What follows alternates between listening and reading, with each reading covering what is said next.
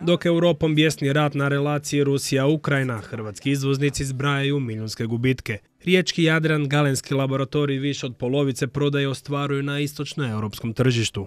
Naša ukupna prodaja na tim tržištima, pričamo Rusiji, Bjelorusiji i Ukrajini je oko 55%. Tamo imamo prodaju od 13 milijuna eura, e, dok u Rusiji je situacija već drugšija, tamo se poslovanje za sad odvija bez većih poteškoća, e, ali je naša izloženost e, valutnom riziku zbog pada rublje značajna. Svaki pad rublja milijunski je minus u blagajni, no prateći stanje u Ukrajini prije eskalacije, te opećeni krizom iz 2014. i 2015. sva potraživanja su osigurana, napominje usmijani Kapo Bjanko.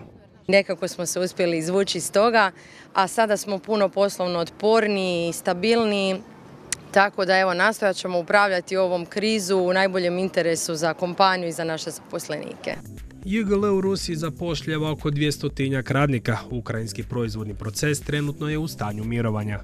Najvažnija nam je e, sigurnost naših zaposlenika u Ukrajini.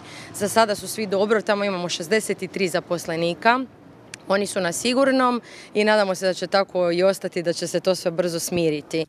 Kako će se rat na europskom tlu odraziti na financijska izvješća, tek će se znati. No pandemijskoj godini unatoč i izostankom sezone gripe, brojke su odlične. Prema konsolidiranim nerevidiranim podacima, Jugalo grupa je ostvarila milijardu i sto milijuna kuna e, ukupnih prihoda, što je znači rast od nekakvih 9% u odnosu na lani. I s time smo zadržali poziciju vodeće domaće farmaceutske kompanije u Hrvatskoj.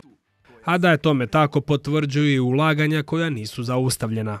Nastavljamo sa našom integrom, finalizirali smo ove prve dvije faze, to je logistički e, centar na Kukuljanovu i proširenje kapaciteta sterilne proizvodnje na Svilnom, a e, prema planu će se realizirati ovaj treći dio, a to je istraživačko-razvojni centar na Svilnom.